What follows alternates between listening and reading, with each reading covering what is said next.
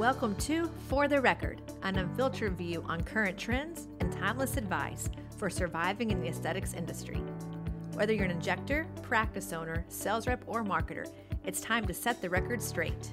Each week, we cut through the chaos and showcase diverse perspectives and winning ideas from the best minds in the industry. I'm your host, Dr. Tiphany Hall, Chief Growth Officer at Aesthetic Record. Now, let's get started on this week's episode. Hey guys, welcome back to another episode of For the Record. We are on episode seven of season two, and today we have a dear friend, a person who I respect and just think is magnificent on our show today, Dr. David Saadat, who is in Beverly Hills. He owns um, three practices. He's a board certified facial plastic surgeon, otolaryngologist, and sleep medicine doctor, so he's got a lot going on. He's also training across the country with a big focus on anatomy right now. He has been training with Sculptra since I think the day they launched Sculptra. He is a genius when it comes to training, but also all of his surgical procedures, injectable procedures. Just a fascinating story about his whole life as well. And so we are honored and blessed today to have you with us, Dr. Saadat. Welcome to our show. Thank you, Tiphany. That was a beautiful uh, introduction. I, I, should can you record that and send that to me so I can use that in the future? That was that was absolutely beautiful. Thank you.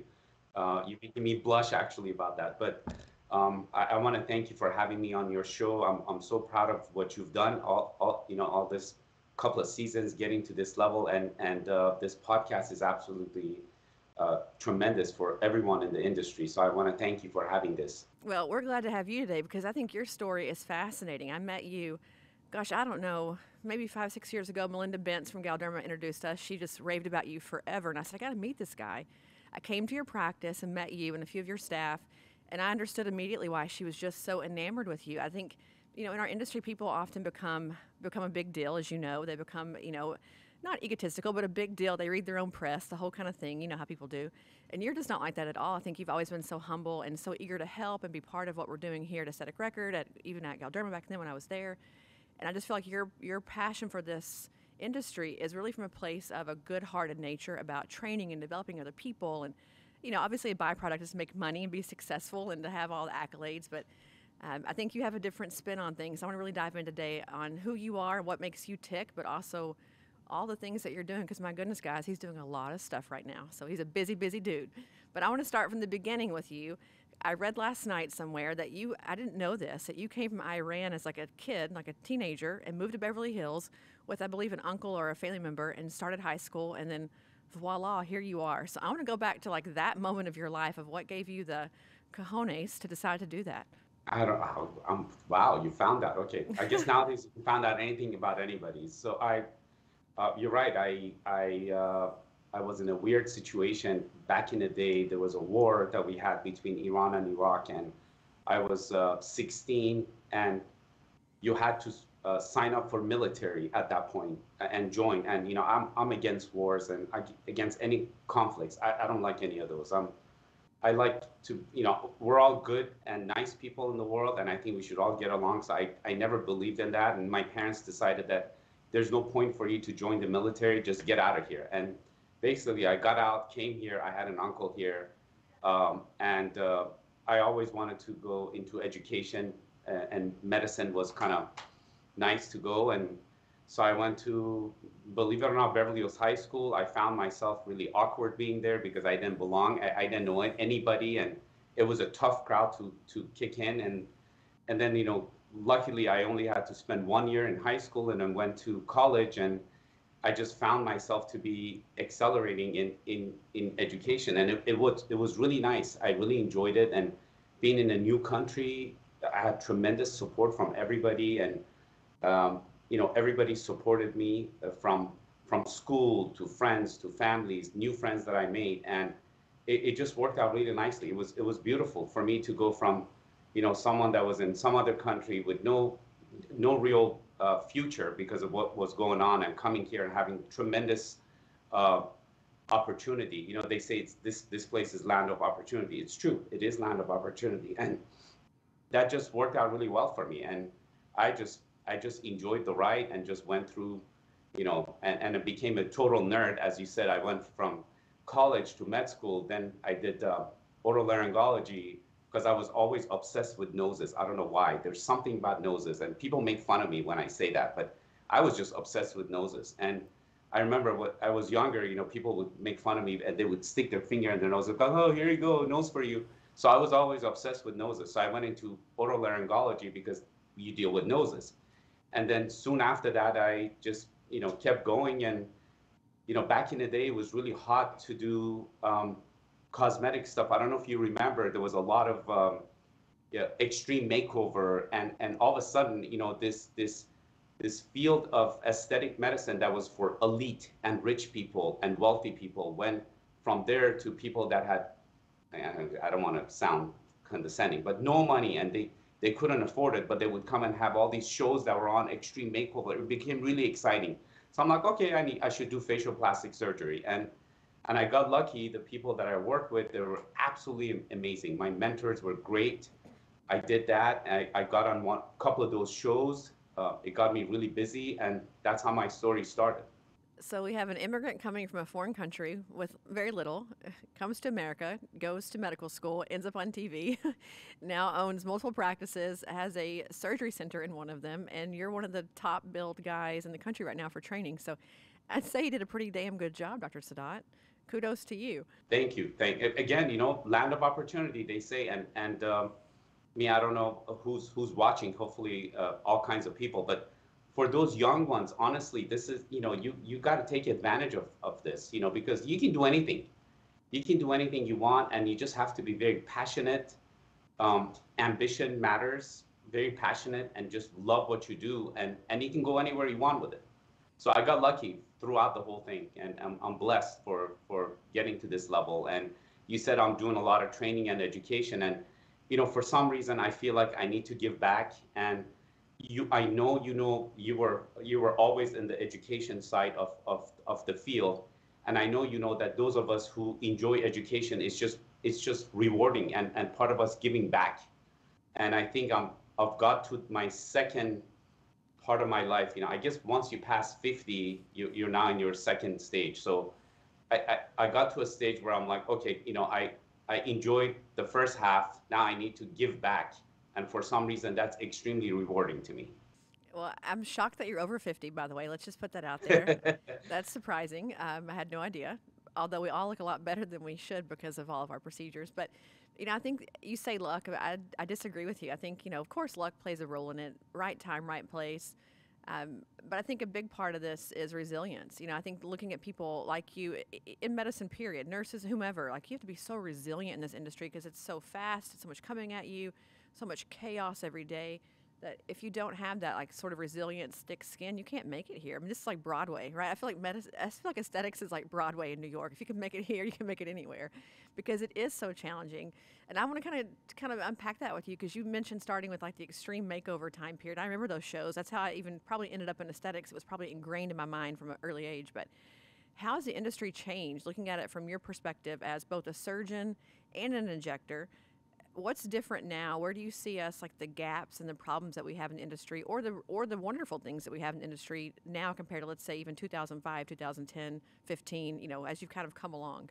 Well, you know, I, I you're right. Resilience is really key and uh, makes a big difference. And I think at the end of the day, the way I think about it is that you got to be nice, you got to be humble, you got to treat people well, and uh, just have a passion and just go for it. And yeah, you know, you, you I kind of tell my kids that you you got to have a, like a tunnel vision. You know, just if you think about that you want to be a doctor, all you have to think about being a doctor, being a doctor, being a doctor, and all these distractions, you just get rid of them and you just continue in that path, and uh, and just be nice about it, and you you get there. You just have to ha- be very focused. I think that, that what so resilience it translates into being super focused. Um, the, the industry has changed tremendously.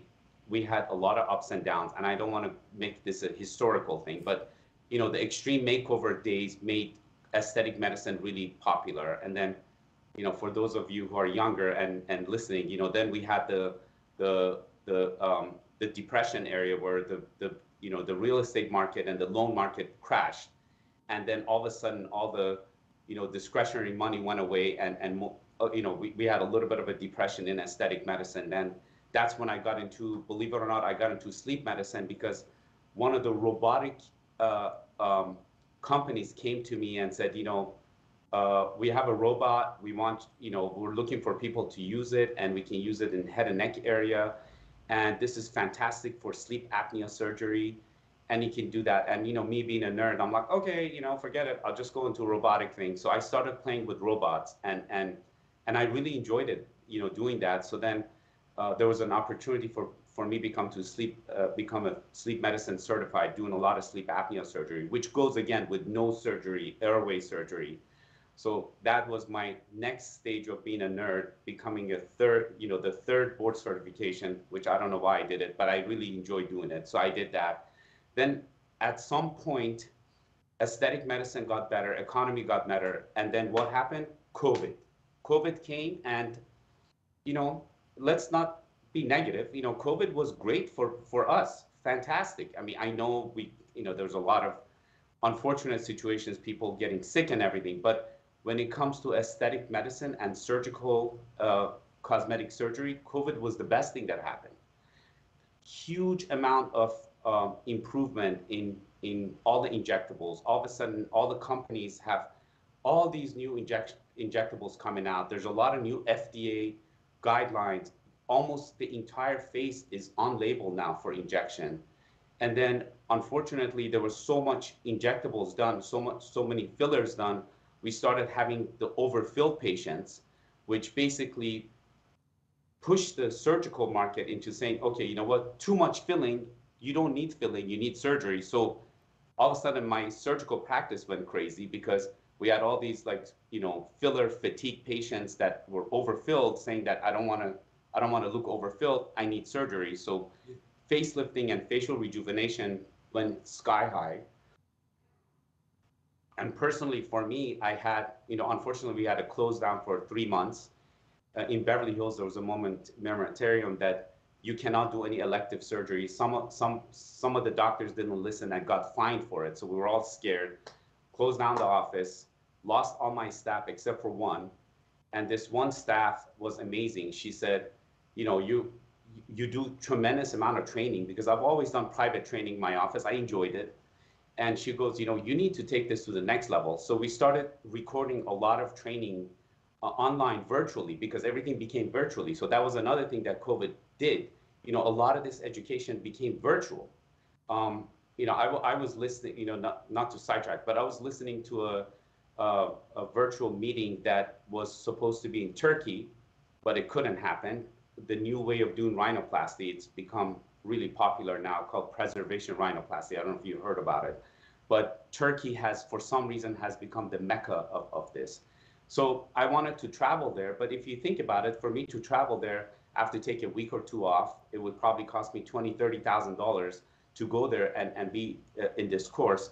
Well, my friend and I decided to do it in our in our uh, living room on a big screen TV. It cost us 250 bucks, and we ordered breakfast and lunch and dinner, and we just watched the whole thing on, on, on TV. So things have changed because of COVID. And, and this virtual thing has, has allowed us to do a lot of learning and a lot of teaching, both.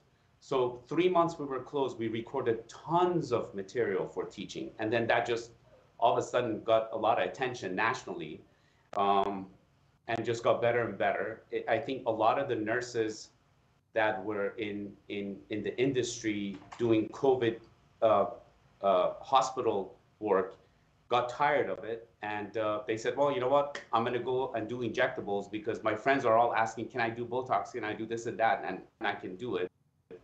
So we've had this tremendous push of. I know this term is bad. We talked about this. You and I talked about this. You know, calling them mid levels, which which I hate that term because one of my nurses saying, "What do you mean mid-level? I'm not a high level. I'm a mid-level." So I think it's kind of offending to them. So all these like beautiful aesthetic providers that uh, are now in, into this came into the field, and they're hungry, hungry for knowledge, and uh, so I found myself in a place where my surgical practice picked up big time because of overfilled patients. My uh, you know, I lost all of my, my staff members, So then I had to rehire a bunch of staff members, and for some reason, all of them that I hired are more education and and virtual training oriented, which which works really well. And uh, and then you know we have all these uh, new injectors uh, in the industry that are hungry to learn. And uh, as you and I know, there's you know that when you have all the new injectors come in, there's there's more and more complications. So for some reason, in my neighbor locally, this also affected me where I was getting some of the complications of, of, of injectables, unfortunately. And I don't want to make this negative, but we had a bunch of VOs here, uh, vascular occlusions, and and somehow they would send them to me to handle. So I, you know, I think as as educators and as as you know, I'm, I'm by no means any leader, but leaders in the field, it is our obligation to make sure that all these new people coming into the field of aesthetic are well trained. Otherwise, it would affect humanity. You know, we, we, we need to protect the public. And the way we protect the public is that the ones that have a little bit more experience and have been around like me, it's my obligation to make sure that the new ones are doing really well and are, are, are uh, very well trained. And uh, you know, there's so many different uh, aspects of making someone a safe uh, injector, and we're talking about injectors for now, but safe injector or safe surgeons, and there's so many different aspects, the techniques, and how to hold the syringe, and you know, understanding rheology and this and that. But I think one of the main things is understanding anatomy, and uh, I found myself all of a sudden that, you know, as a surgeon, I've had a lot of anatomical experience, cadaver dissection, and, you know, every time we do any kind of educations, we have that.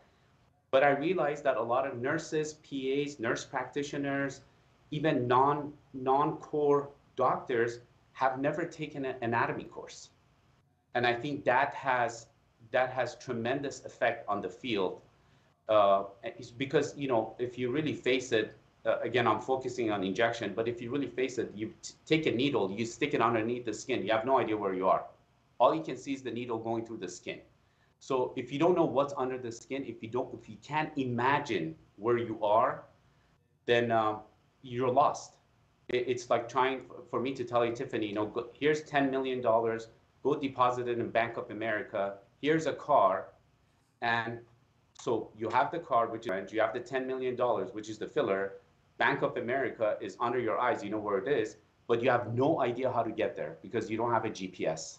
You don't know the roads, you don't know the stop signs, you don't know the, the, the red lights. So anatomy, and I think the cadaver anatomy allows you to learn the streets so you can get to the bank and deposit the money. That's the way I think about it. And so somehow, you know, I, I got into that and, and I'm really enjoying it actually.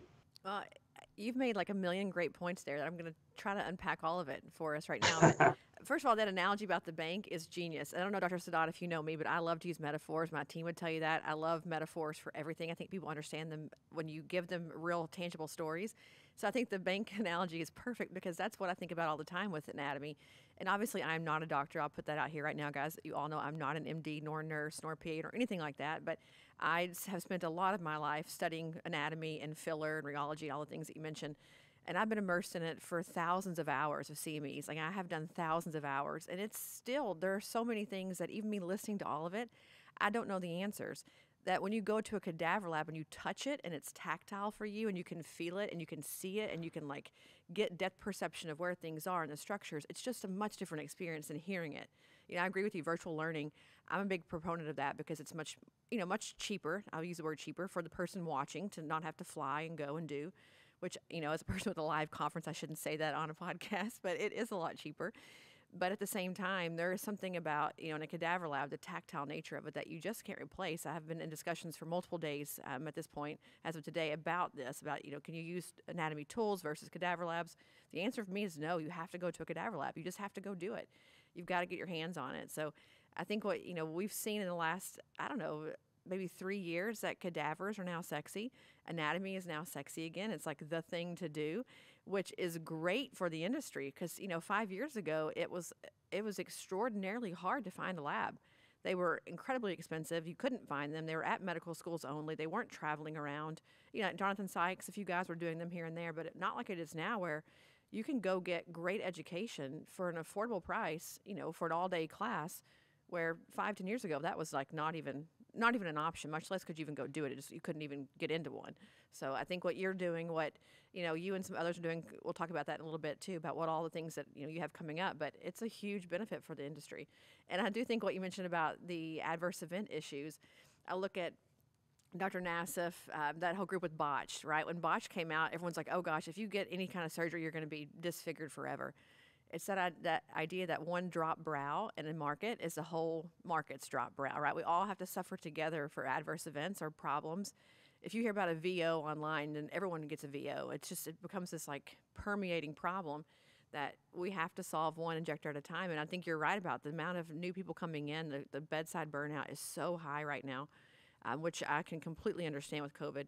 And people are hungry to get something that they enjoy, that they're passionate about again, that they love. And this this industry, as you and I both know, is a passion project.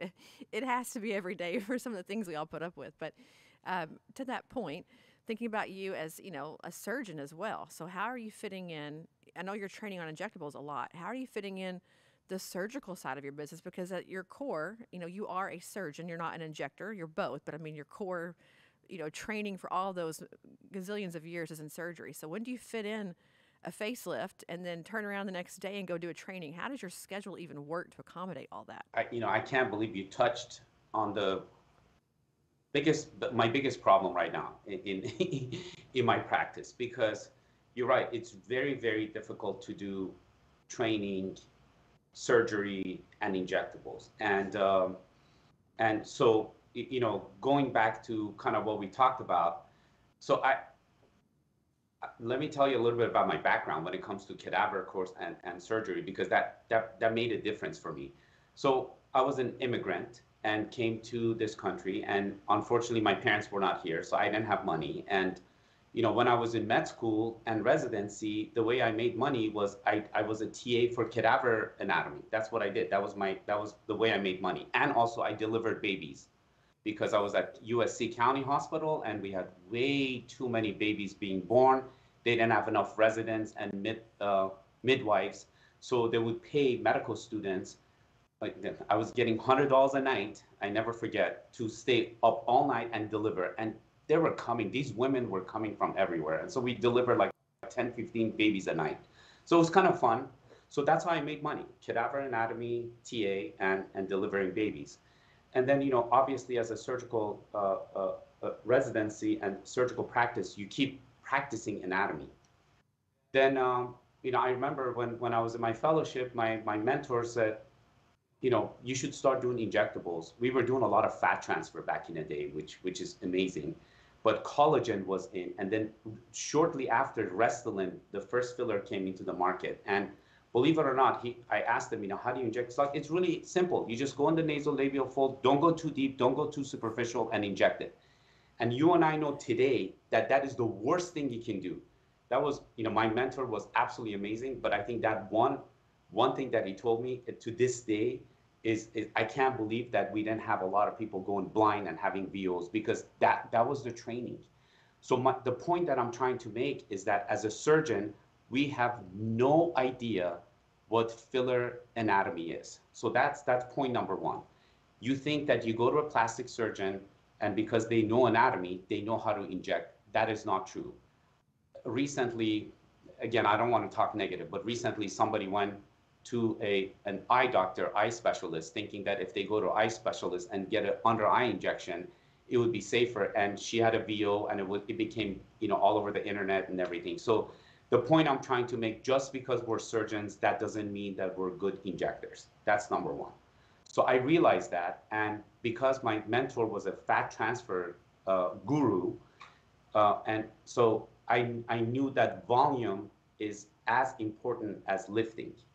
And for, you know, I, and, and you know, the industry is kind of weird, you know, surgeons all stick together and say, no, no, no, no, everything is surgery, you know, injectables are BS, don't do that. And then injectors say, no, no, no, no, you you know these surgeons want to make money and stuff like that. I'm right in the middle because I realize that half of the problem is lifting, the other half is volumization, and the uh, and and to make it even a little bit more elaborate. The early part of your life, you need injectables, and then there's a point where you cross, and injectables don't work, and and you need surgery. So I, I, I I'd like to be able to be an expert in the full spectrum.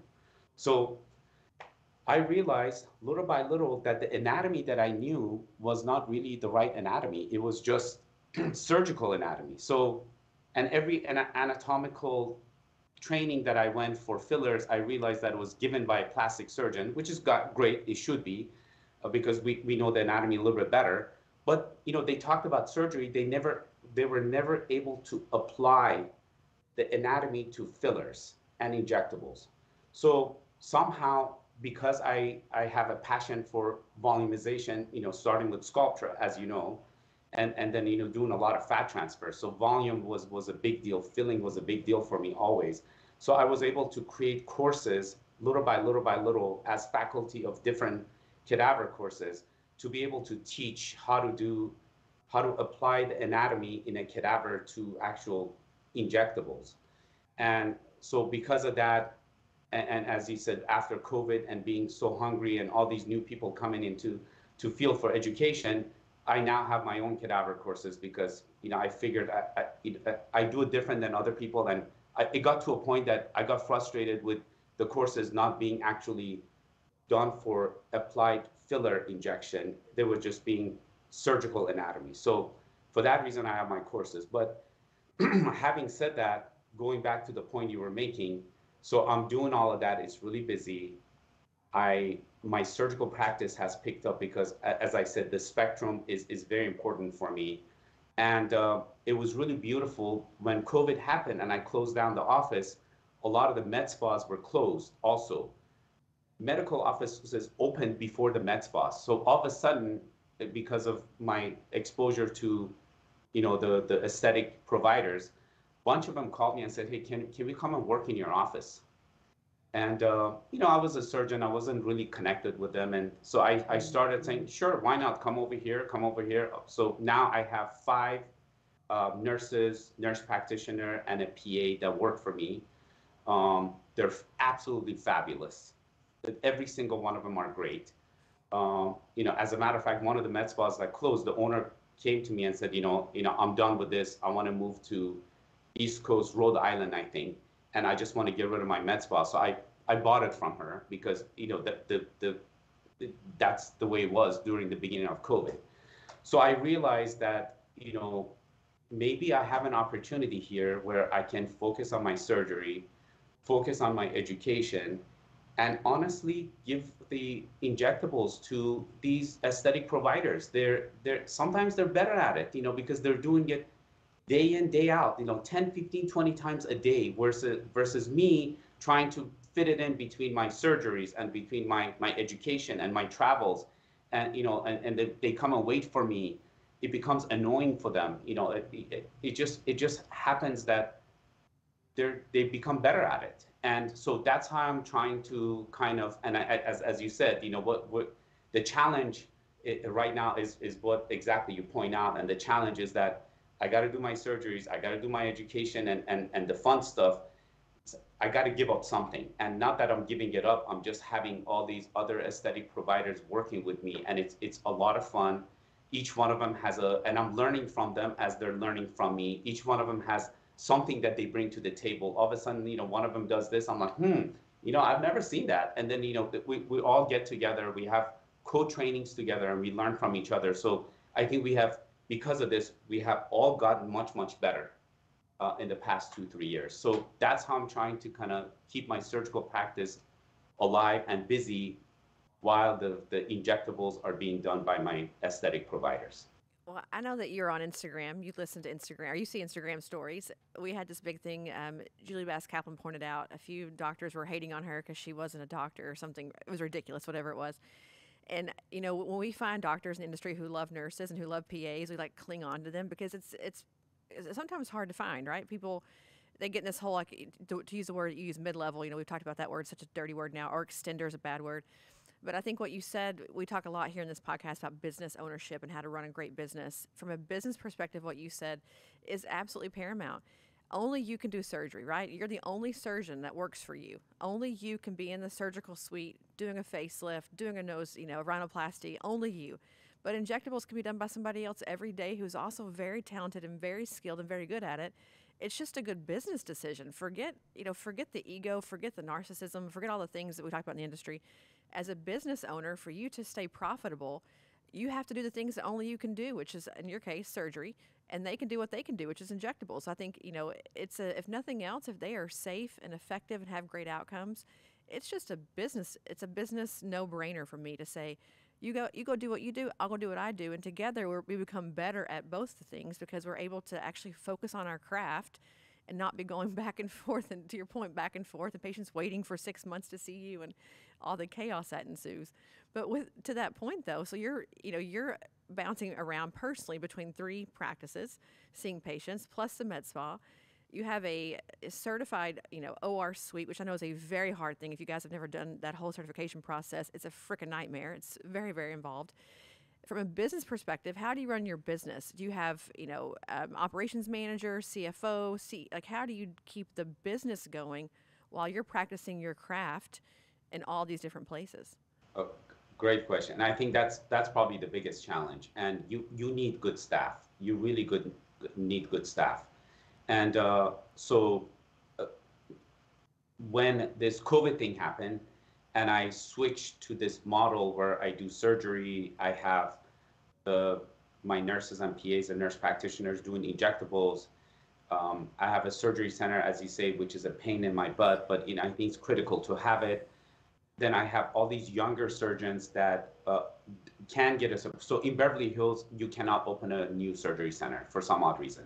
The city doesn't allow it. They, they don't make money. That you know, tax tax dollars come from retail stores surgery centers don't make money for the city, so they don't want anymore, and there's millions of them in there. So, you know, all these young surgeons coming out, they don't have a place to operate, so they're all coming. You know, I have a handful of them that come to my my surgery center and talking about training with surgeons.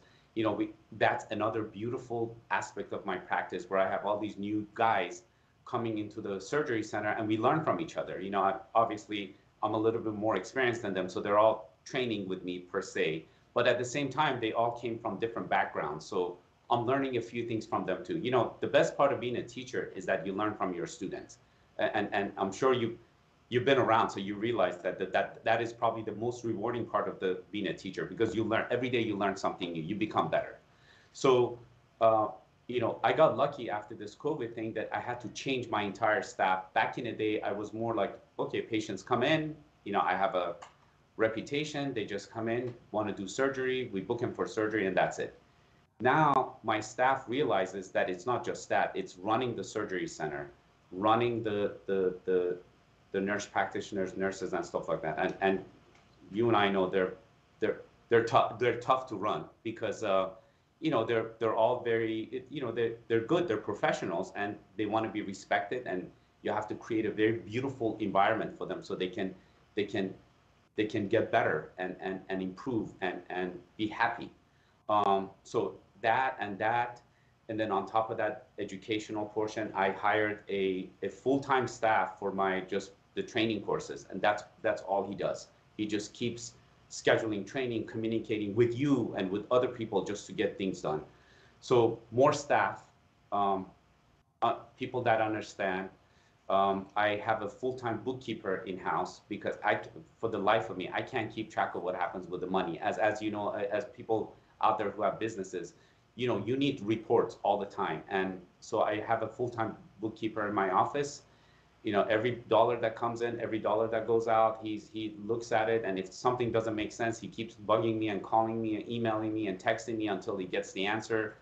But at, at least I can see the, the picture of what's going on and uh, and I have a manager that kind of oversees everything, oversees all the staff because now you're going from one or two staff members to you know 10, 15 staff members. Then you have to manage them, and um, you know my my teacher used to make fun of me all the time and make fun of this situation. It's like, listen, you know, running an office is like is like a kindergarten. You have to babysit everybody, and I hate to put it that way, but at some points it's true, you know, because everybody has feelings, everybody has you know issues at home and you have to manage all of those and as a business owner and someone who does surgery, I won't be able to do all of that if I don't have the right staff. So, you know, I think it all comes down to to having great staff, great uh, um, policies and procedures in place, uh, number of meetings back to back to back to back, just to make sure that we talk about everything and correct all the mistakes. Um, otherwise, the business won't flow. So that's I think that for me that's the solution, and I'm still working on it, believe it or not. I think we're all still working on it, but you know, being I think about businesses as like being a landlord. You know, when you're an absentee landlord and the place is falling in, you don't know until you show up to rent it to the next person and realize that the place is gutted, that your tenant has destroyed the bathrooms, broken the, you know, all the things that go wrong. I feel like businesses are much the same. I have many friends who own businesses who are absentee business owners, right? They have a business, they own it, they may show up once a month and say hi, but they're not part of any of it. Someone else is doing all of it. And I think when it comes to medical practice, when there's patient safety, which I know is a big, you know, a huge thing for you, patient safety is at stake, reputations, people's livelihoods, careers, all these things. You got to be part of. You got to be involved, be part of it every day in some way. You know, to your point, meetings, being you know, part of the discussions, touching base, all these things that happen. And I know it's for you, I'm sure, very hard between training, surgery, injecting. But guys, I mean, I think to your point, Dr. Saadat, you have to just make time for it because if you don't, you're going to show up one day and it's not going to be what you think it is, and you're going to be in a world of trouble. So, for those people who want to just like buy a med spa and hang out and never, you know, never show up, it doesn't work that way. I think you have to be part of it be you know set the the the ambiance the environment that you mentioned make it you know you're an adult babysitter. We say that all the time here like we all need an adult babysitter to like manage our lives especially at work because we all bring our own baggage here. So you know the ability to do all the emotional gatekeeping that you do as a business owner and your actual job and try to work about you know work on profits and revenue and all these things it's a lot of shit guys. It's a lot of shit to do. So you have to be again resilient is the word i'm using today but I want to transition into your training uh, more specifically for listeners about where to go to find you because I think what we talked about with Aesthetic Next. So, guys, spoiler alert: Dr. Saadat will be leading our cadaver labs at Aesthetic Next. We're going to have two this year. We're going to have a regular facial anatomy lab focused on injections, and then a second one that's really focused on adverse event management, looking at the things we mentioned, VOs, how to prevent things like this from happening, getting a really good sense of you know what's under the skin. But we discussed this early on, you and I, that I wanted very injection focused anatomy, what you mentioned.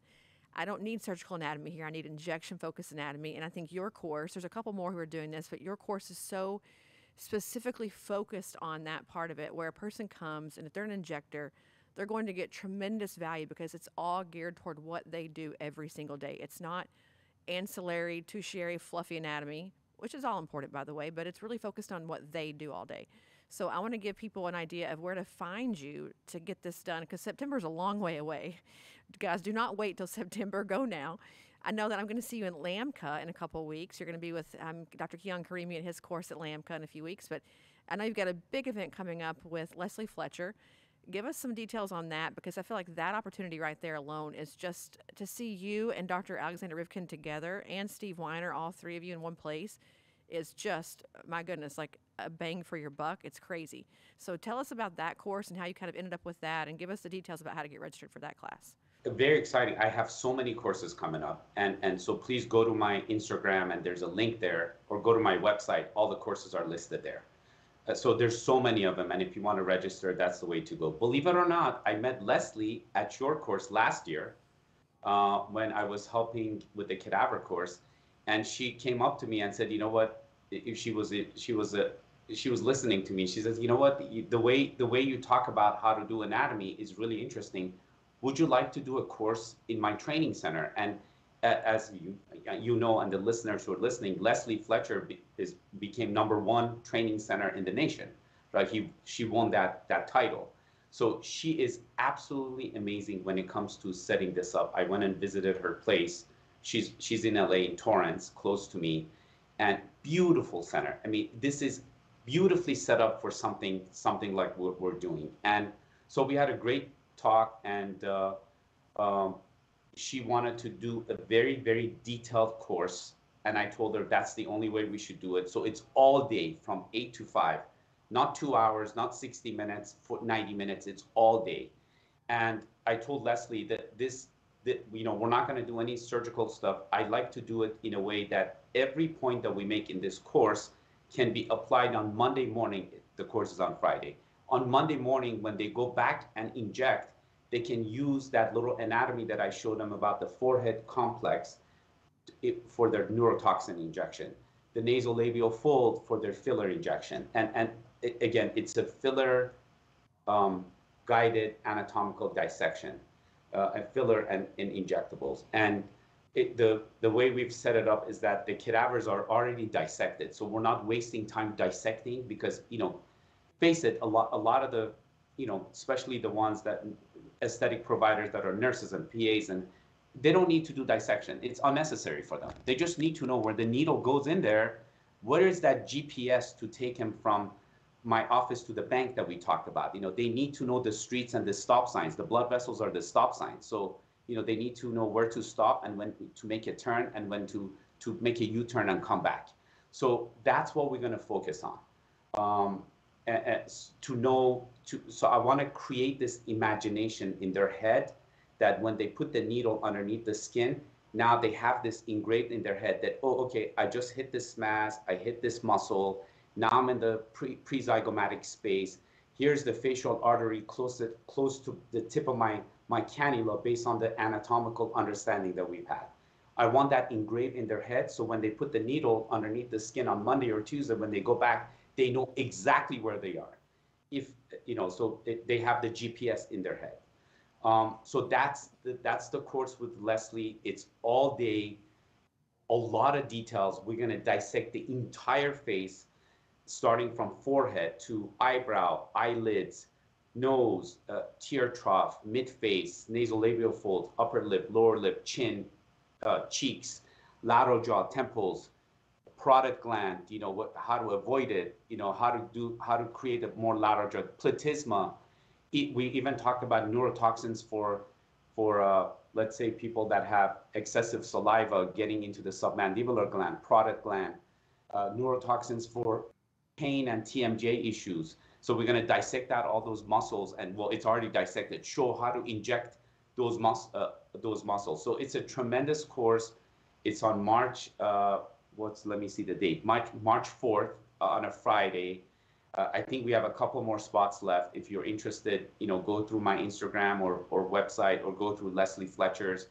Um, you know, I've invited Dr. Rivkin, who's a very, very good friend of mine, and he's a phenomenal injector. He, he, he's got very fantastic techniques on how to be safe.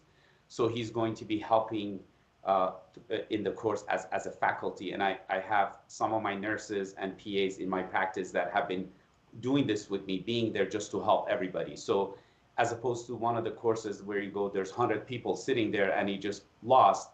Uh, my course is, is very specific because at every station I have an expert to make sure that you're navigating through this filler uh, injectable guided anatomy from A to Z so you're not lost and it's efficient. Um, so, so we have Dr. Rivkin who's there and a bunch of my, my uh, help in the office.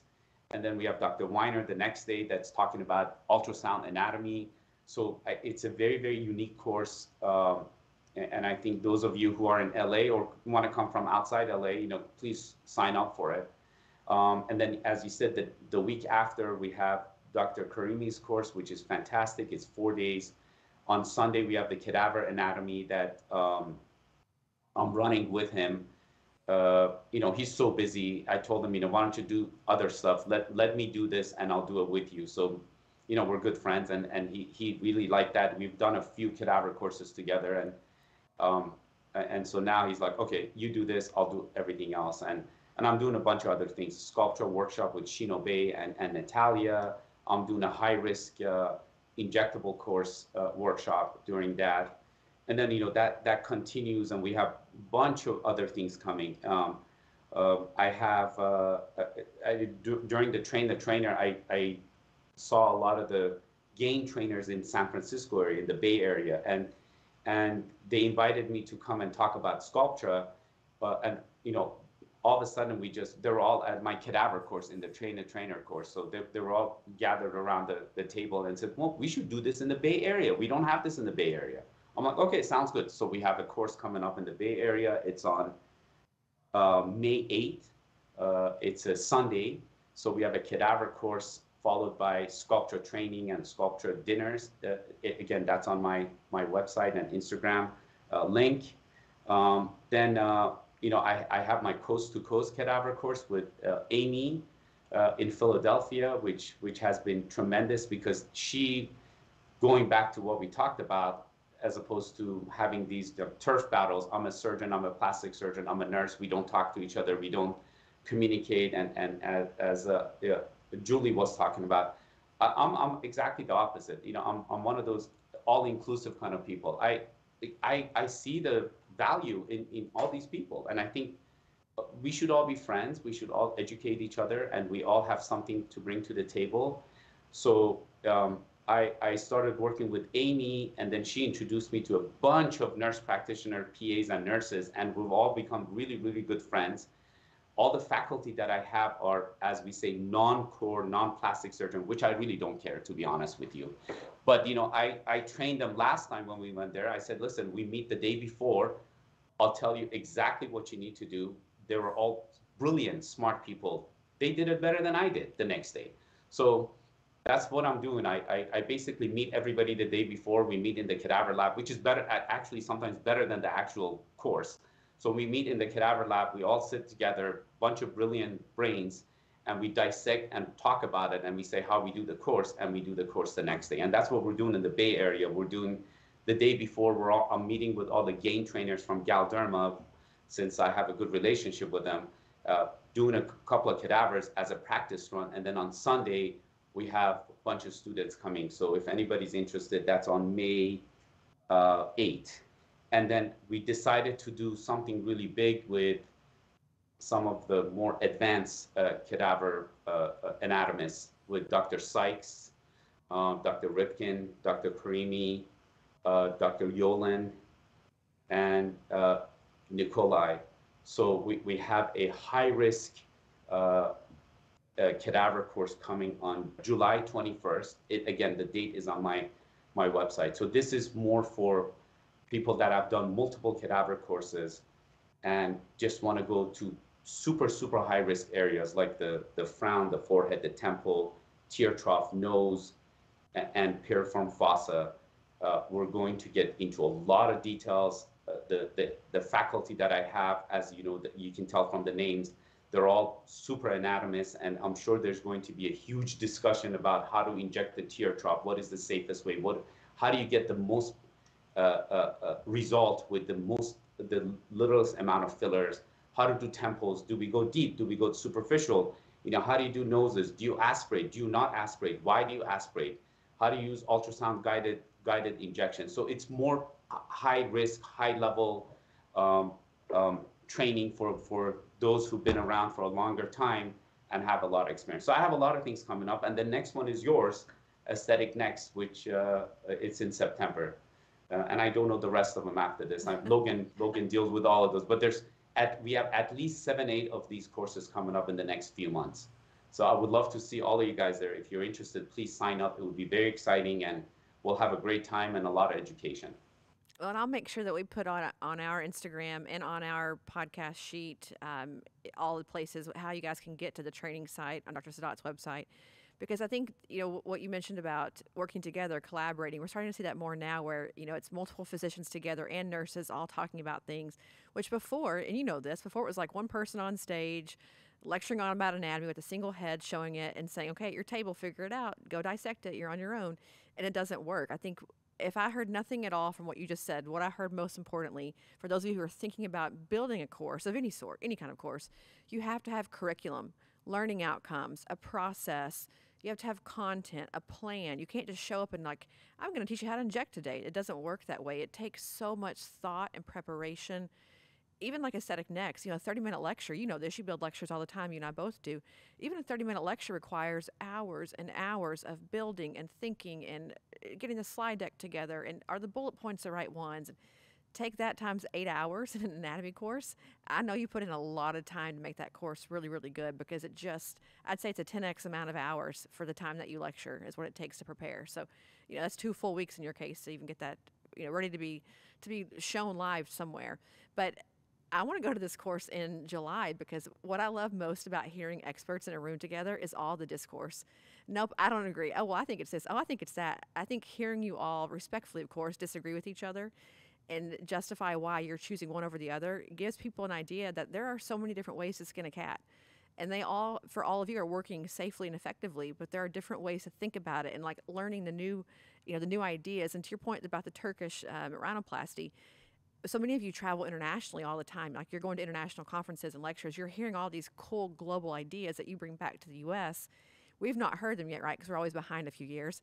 And then it just sparks this incredible debate about who's right and why and who's not right. And is there even a right or wrong answer? So I just think if you guys are a more advanced injector, meaning you've done lots of cadaver labs, you have you got to go to that class. I'm going to that class. I'm flying out wherever that is. I will be there because I want to hear it. Because I feel like that's what we're missing in the industry too, is that respectful banter as you get more and more advanced, um, especially with adverse events. So I think you mentioned eight, nine classes there. So we will give people all the details. But I want to end before we go on Sculptra because you are, in my opinion, one of the best Sculptra injectors in the world. You're a phenomenal Sculptra injector. I want to hear your thoughts on that product going forward because we're seeing now a shift, the overfilled face from this dermal filler spot correction to now this platform enhancement, platform rejuvenation give us your last few thoughts on Sculptra and how that fits into the overall portfolio. Okay, I got to say one thing because you, you just uh, brought up something that we've been talking about. Because when we were putting this course together, the advanced one, and bring all these high profile anatomists, it's kind of like having a housewife show of so we're going to call it house anatomists of beverly hills basically it'll be in peninsula hotel in beverly hills because i'm sure there's going to be a lot of arguments going back and forth and it'll be fun. Hopefully, hopefully it doesn't get nasty like those shows. But but I'm sure that we'll have a lot of disagreement. And but but that's how we learn. That's how we learn because these are high-profile anatomists and they have a lot of uh, knowledge and uh, they're very passionate and everyone is super strong. So I, I, I have to figure out how I'm going to keep this in a way that it doesn't get out of hand. But it, I'm really excited about that course, as, as you mentioned, and I, I would love for you to be there it'll be a pleasure if you can come. Um, so Sculptra, you, you just hit on my, my favorite, favorite all-time injectable product. Um, it, as you know, those of us who started at the beginning, uh, you know, like Doug Mest and Becky Fitzgerald and me, and, you know, we were just the beginners, you know, in 2004 when it became FDA approved here, and Doug Mest started a little bit before that. We are so passionate about this product that that that it, it's really hard to explain how we feel about it because it's, it's just so much history in this. Um, and as you know, since you've been around with this field, those who have done Sculptra since those days, you you know, once you have a patient that is a Sculptra patient, you will never ever lose that patient because the result is just incredible. And I think Sculptra brought us a, a few things. One, because of the work of all these, you know, tremendous geniuses in the world, we really learned the anatomy of volume loss. We did not know volume loss. Fillers didn't really help it. I think Sculptra was the one that really made us understand the aging anatomy and volume loss and how to replace the volume loss. So, so because of that, we have learned what happens with the aging process and how the volume loss affects you and how to correct it not by just going with a filler into a line and fixing the line, but actually treating a region to improve that line that's the symptom of the volume loss uh, that that came into picture. And that you know that that kind of coincided with understanding the the superficial and the deep fat anatomy fat compartments of the face and what happens to the bone as we get older. So again anatomy is key and Sculptra was was one of the ones that really made us understand that anatomy. And uh, you know, with Sculptra being reborn, uh, and and people recognizing how powerful it is in replacing the anatomy very very um, naturally and improving the overlying skin, which most people don't pay attention. You know, uh, Sculptra has has a secondary side effect or effect, and that is making the skin better. It's called the Sculptra Glow. Um, it, it, hard to explain, hard to picture, hard to video, hard to show. But you know, those of us who've done it know that once you uh, inject the Sculptra patient, their skin gets so much better to a point that they come back and say, I don't need to wear as much makeup anymore. My skin is so much better. I glow like an 18 year old. So that Sculptra glow is key. And you know, once people recognize that, all of a sudden you have a product that you're improving volume, improving skin texture and, and look uh, in a very, very natural uh, way that it doesn't look overfilled, doesn't migrate like fillers. Um, and, uh, you know, believe it or not, because of the viscosity of Sculptra, the side effect is a lot less than, than fillers. So to a point that I think if, if I'm predicting and I'm hoping that I can take it to the next level, Sculptra should be the first thing an injector should learn. Because I think, in my humble opinion, it's safer than fillers, it's safer than neurotoxins. So if you're an injector and you want to really learn the, the this this business, Sculptra should be the first one you should learn and the first one you should master. It's safe. It has a lot of uh, room for, I don't want to say error, but you have time to kind of establish the volume that you want. And I, I predict that that's what's going to happen in, in the next uh, uh, year or two, especially with Sculptra not having any competitors uh, at this point. So that, that's my prediction with Sculptra. And I'm, I'm, I'm just enjoying the ride because we've been waiting for years to get this, this level. And I'm hoping that we get to the level where, you know, every aesthetic injector that comes into the field should learn Sculptra first before they learn neurotoxins and fillers.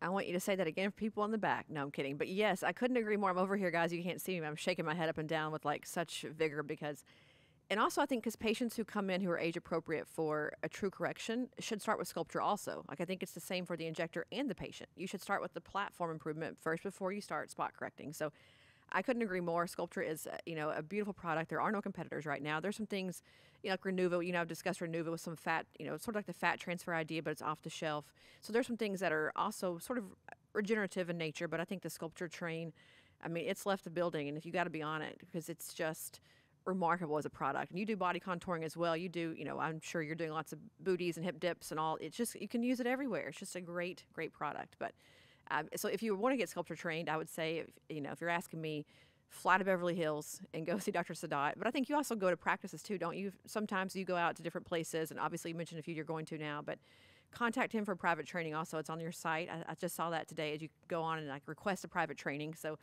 we'll let Logan deal with that and get that scheduled and make that all happen because I know that your schedule is a little busy. But we're at an hour, which is shocking. Um, the hours here go so fast.